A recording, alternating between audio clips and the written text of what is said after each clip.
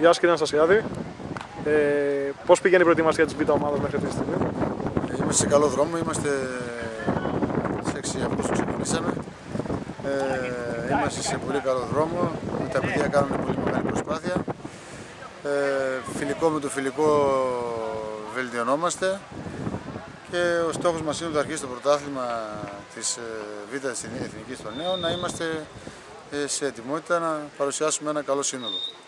Έρχεται από πίσω όσο ταλέντο είδαμε να ανεβαίνει φέτος στην πρώτη ομάδα; Ακολουθούν και Ε, άλλοι. εντάξει, σίγουρα δεν, είναι, δεν μπορεί να γίνεται κάθε χρονιά το ίδιο. Πέρσι η ομάδα αυτή ήταν πρωταθλήτρια Ελλάδος. Ε, Έξι ποδοσφαιριστές από την ομάδα αυτή έχουν γίνει ήδη επαγγελματίες.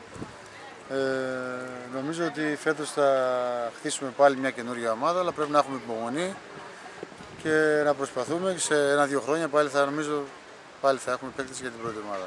Οι εντυπώσεις από την τρίτη ομάδα, όπως την είδατε σήμερα; Και η τρίτη ομάδα νομίζω κάνει την προσπάθειά της και, και αυτοί πιστεύω να έχει εξέλιξη και να μπορέσουν να έρθουν παίκτες στη δικιά μας ομάδα. Οι προπονήσεις οι δικές σας που γίνονται; αυτόν Και τον καιρό καιρό. αυτό το καιρό γίνονται κάτω στα γήπεδα της Ομόνιας. Ε, σίγουρα αναγκαζόμαστε για το- γιατί είμαστε πολλές ομάδες να κάνουμε πάντα πρωινή προπόνηση. 7.30 ώρα το πρωί ξεκινάει η προπόνηση για να έχουμε γήπεδο.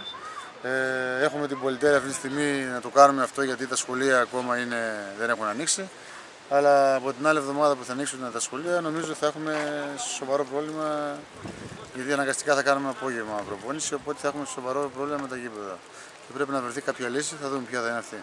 Και η σημερινή εικόνα του αγωνιστικού χώρου δεν ήταν και ότι καλύτερο για ποδοσφαιριστές. Σίγουρα το εθνικό στάδιο σε αυτή τη φάση νομίζω η εικόνα του ήταν τραγική θα έλεγα, του αγωνιστικού χώρου. Και το επόμενο φιλικό της ομάδας; Ε, το επόμενο φιλικό της ομάδας, ε, αν δεν αλλάξει κάτι, την ε, Κυριακή με την ομάδα νέων του Γαζόρου στο Γάζο. Ωραία, ευχαριστούμε πάρα πολύ.